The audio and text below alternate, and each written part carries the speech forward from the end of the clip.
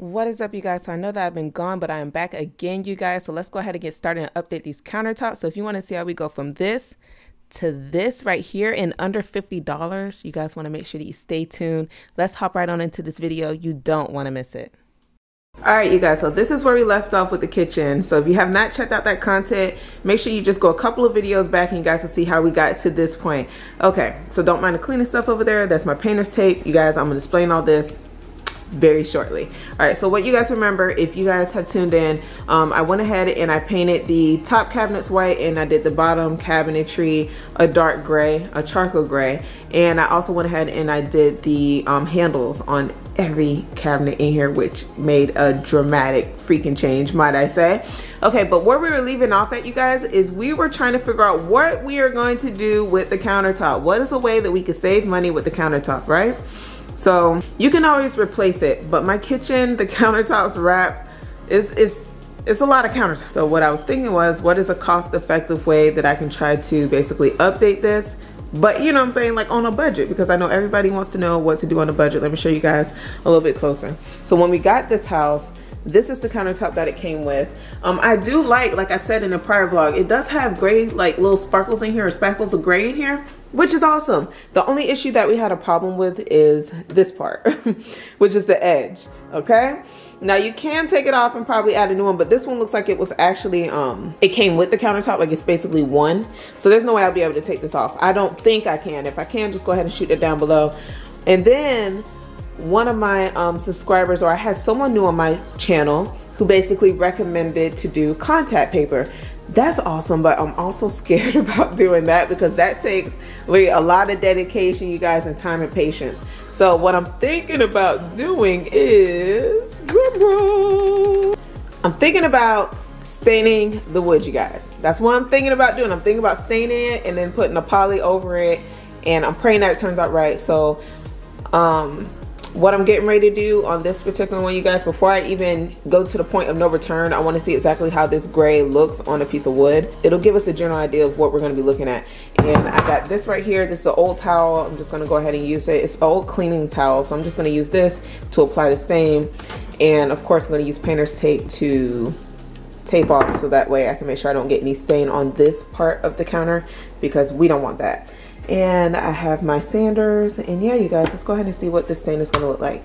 You guys I popped the top and this color just might work. It just might work. It looks just like my bottom.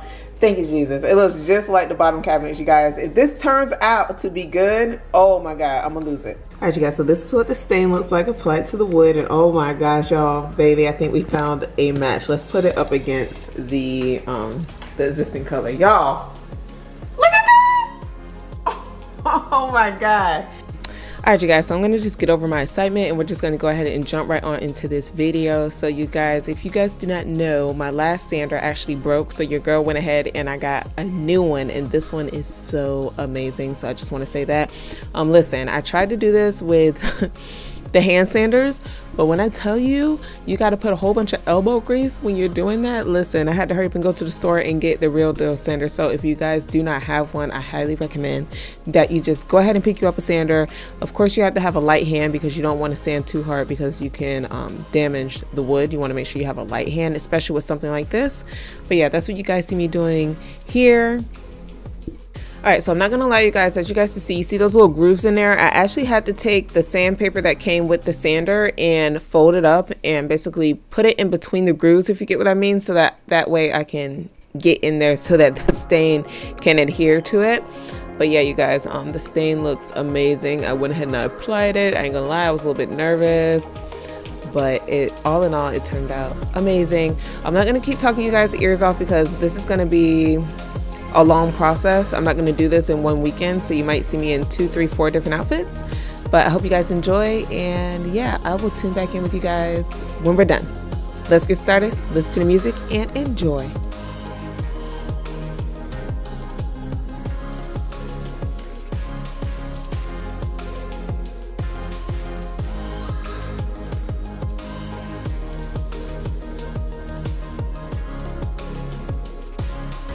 Okay, so I know you guys are probably wondering like why does homegirl have a sock on her hand? Okay, I'm gonna explain that the reason why I'm using this sock, you guys, is because when I was using the um, gloves, they kept ripping because the sandpaper and stuff like that, and it was ruining my nails that I just got done, you guys. So it was taking off all my nail polish. So I was like, what can I do?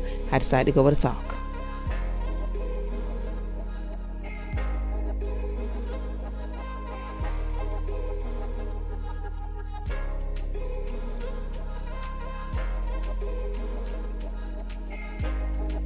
Alright you guys, so I also want to give y'all a heads up. If you do decide to go this route and use a hand sander, just be prepared for a ton of dust that it leaves behind you guys. I'm not going to lie. Mostly it's from my hand sander, but if you're deciding to sand inside the house, just know it's going to be a ton of dust. Okay? A, a ton.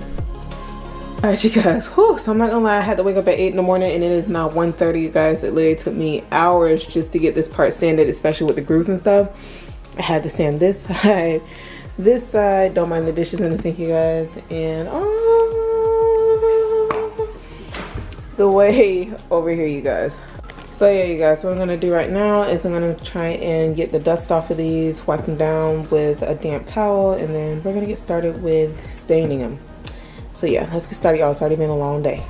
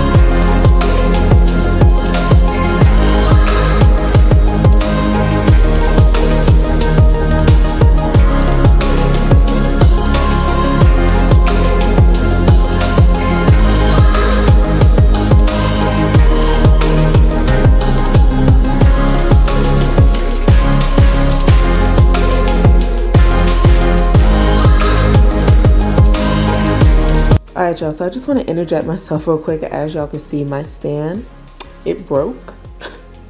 it broke you guys, so I don't know how I'm going to film the remainder of this video you guys, but I'm going to try my hardest, but I may have to cut it short or at least hold it for a little bit and show you guys how I, how I stain it, but I don't want to mess it up. So I don't know you guys, we're going to have to see, but yeah, my stand's broke, so if you guys see that I come back up with the finished product, that is because like I said, it's broken, y'all. Sorry.